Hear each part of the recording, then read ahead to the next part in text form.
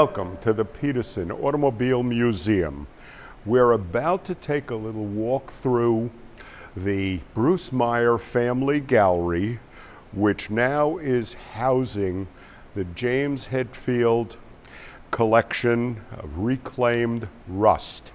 And James Hetfield, of course, is the um, frontman for the heavy metal group Metallica, one of the most famous in the world. Um, he had two passions as a kid growing up in Downey, California. One was his music, the other was uh, automobiles. Being a hot rodder kid like all the rest of us, uh, he enjoyed fast, loud cars and fast, loud music and the creativity that he had spills over not only from his music but to his car collection, which, by the way, in 2019 he donated to the Petersen Museum um, as a gift to the museum, which is on display right now. And we're going to start to walk through some of the most beautiful custom cars ever made. So let's take a walk first. The first car I want to introduce you to is Black Pearl. And Black Pearl was a collaboration and a creative style between James Hetfield, Rick Dore, who was the custom builder, and a gentleman by the name of um, Marcel DeLay. And Marcel DeLay did the basic framework. This car originally was just going to be a quiet little 1948 Jaguar sedan.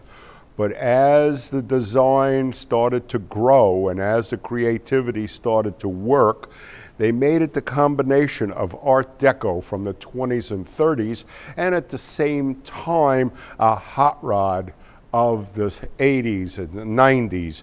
So what we have here, Black Pearl, is the creative, um, the pontoon fenders that you see here, okay, the, um, uh, the Art Deco trim on the car, chop top, much like a hot rod or a lead sled of the day with a fastback, and one of the most gorgeous cars in this collection being a 47 Jaguar, is carried through right into the interior. The larger steering wheel, the gold and cream color and the black.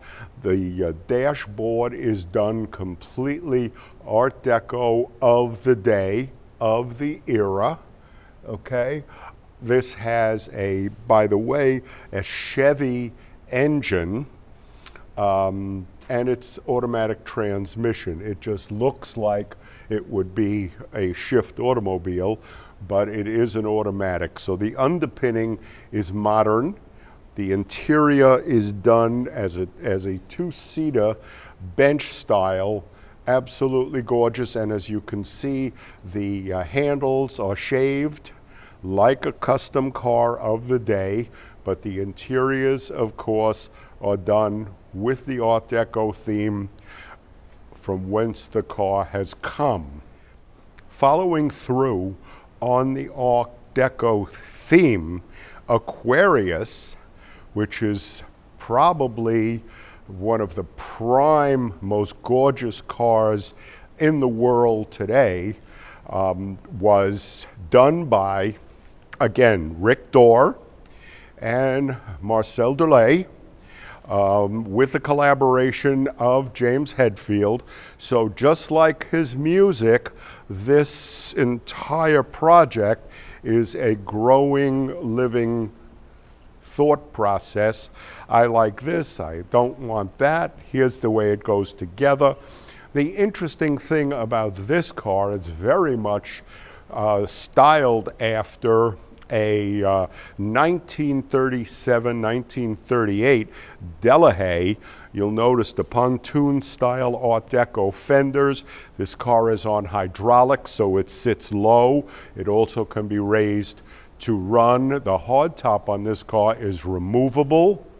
Again, it's got modern day running gear, but it's absolutely a gorgeous car. I had a discussion with Rick Dore, who was uh, part of the team that built this car, and his custom uh, company built it, and as you can see, it's gorgeous. The interesting, unique thing about this car, the interior again follows through, so that's absolutely gorgeous.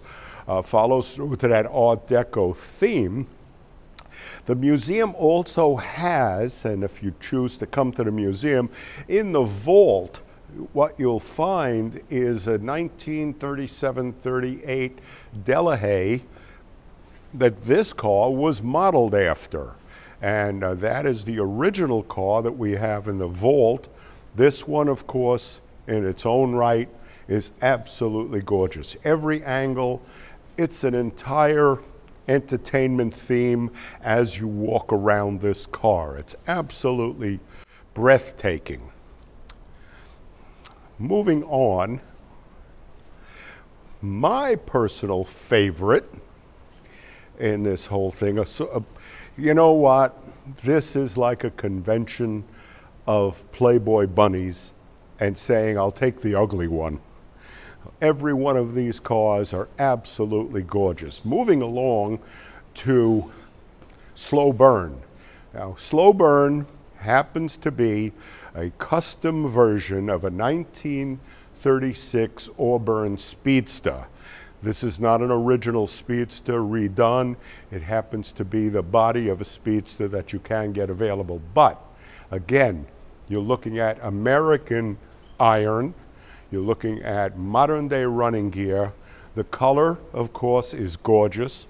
My personal favorite, because I am an Auburn Speedster person, happens to be slow burn. Removable hardtop, hydraulics, absolutely a gorgeous, gorgeous car.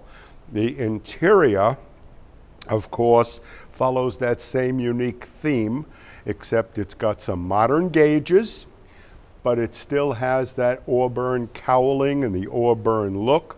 Uh, these Auburns came out of the family of Auburn, Duesenberg, and Cord. Um, the boat tail is absolutely spectacular. The entire car is absolutely a showstopper.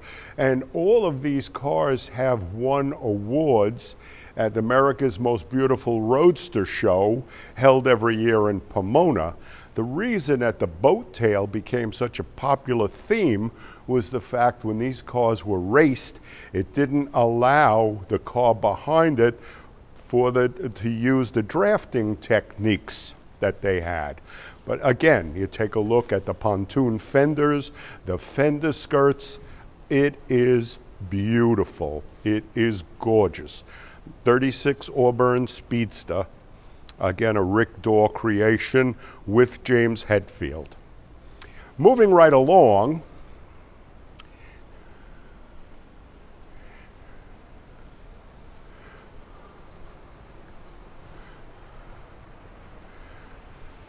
straight edge. What we have here is another Hetfield creation with, again, a pretty famous custom car builder. This wasn't Rick Dore, but it was another company. But this was a 1956 Ford F-150 truck. The lighting configuration on the front is very much 57, 1957 with the quad lights on this V shape. So it's a um, truck that originally was every bit of a tow truck. It hauled a boat around. James Hetfield decided he wanted to customize it and make it into a show truck. So they took elements from things from the 50s and started to apply it to this truck. The tail section that you're looking at here is very much out of a 1957 Ford. Might have been a Thunderbird, but it's a 1957 Ford tail section. The front quad lights, as I said, also 57 Ford. The interior is pretty close to stock, just completely refurbished and redone with um, rolled and pleated interior, the pinstriping. The car is an exceptional beauty, this truck. Absolutely exceptional beauty based on, as I said, a 1956 Ford F-150.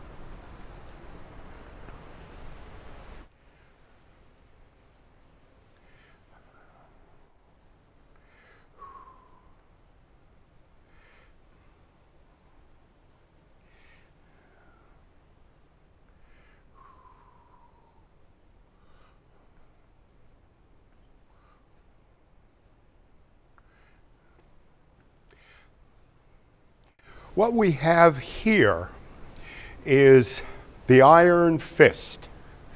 And again, we're looking at the creative nature of James Hetfield.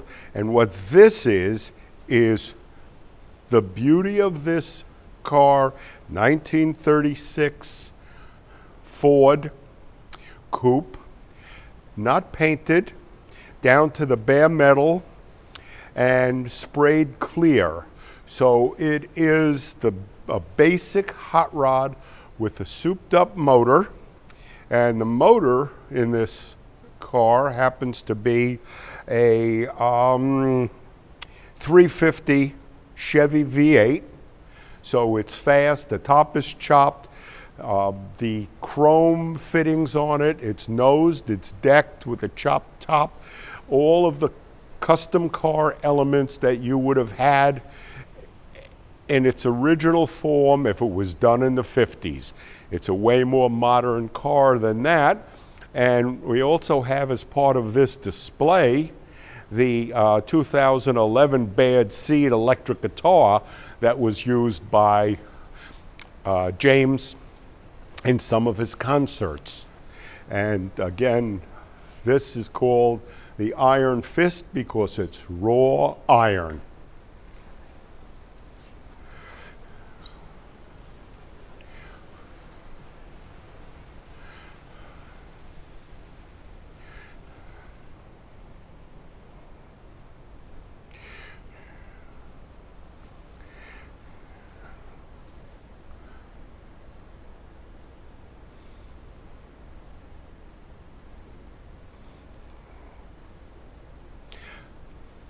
The Crimson Ghost. Again, 1937 Ford Coupe. Out of the 30s, this was the kind of a car that you would have seen in a Jimmy Cagney movie, Public Enemy, any of the kinds of cars from that era, except this one, of course, again, nosed, decked, absolutely gorgeous paint job. The car is lowered. It's the top is chopped. So again, it's chopped, channeled, nosed. The uh, door handles are taken off the car. Absolutely. This again is another Rick Dore creation. Uh, Rick comes up with some of the most outrageous car styles and designs. And um, James and Rick get together on many projects because they both think um, alike when it comes to what is a beautiful, beautiful automobile. And this particular one has also won many, many awards at many of the car shows around California and around the United States. Again, another Rick Dore creation with James Hetfield. So they kind of work closely um, James creates the music uh, and car design, and it's a collaboration of geniuses. The,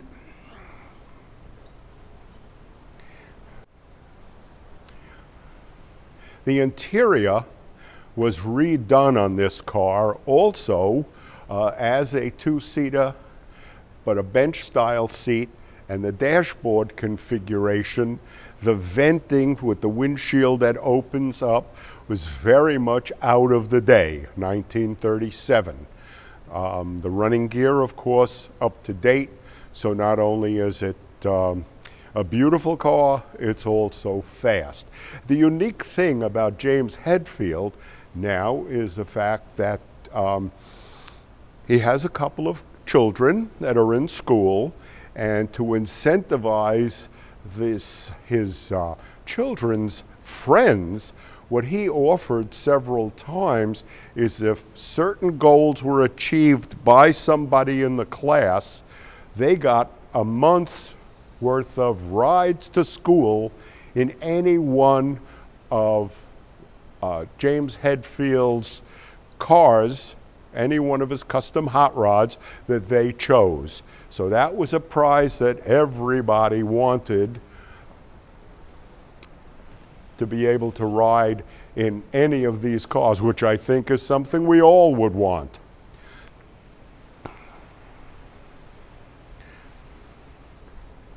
Voodoo Priest. Voodoo Priest. First of all, the first thing that has to strike you on this is a Voodoo Priest, by the way, is a Lincoln Zephyr, customized by Rick Dorr yet again. Okay, and it's a 1937 Lincoln Zephyr. And what these cars, even in their original configuration, were known for was this long, sloping, sweeping back trunk. So again, it's uh, the handles are taken off. The interior is pretty much the way the original car was, just brought up to today's standards. And um, it's a 1937 Lincoln. Uh, the engine on this is the original V12, okay, two banks of six from a Lincoln Zephyr and it was uh, 267 cubic inches. So this car in its original configuration still has plenty of get up and go. Um, I think that you'll find that uh, a, like all of Rick Dore's creations, every one of these things is breathtaking. And this Zephyr is no different. So this is Voodoo Priest, one of the major cars out of that creative team. The color combination, or the color with the chrome, again, it's on hydraulics. It's beautiful.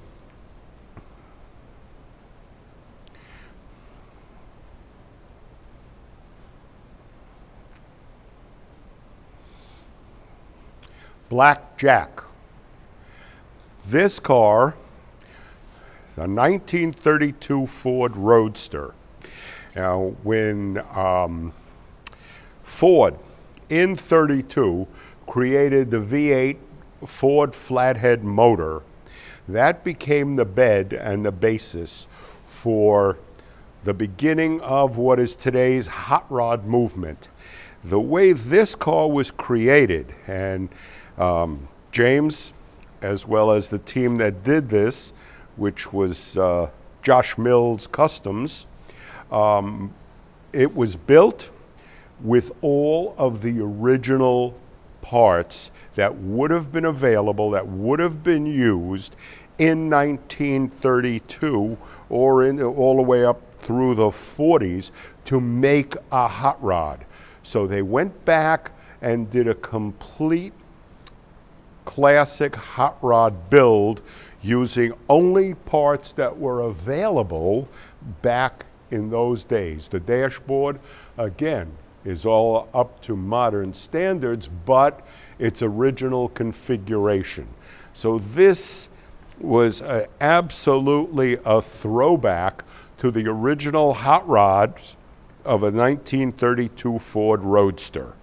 Absolutely gorgeous between um, parts were available between 1932 to 1949. This is an original, original car. So this is Blackjack. And that's what makes this car totally unique. Even the uh, drum brakes as opposed to disc brakes and everything else, it's completely original.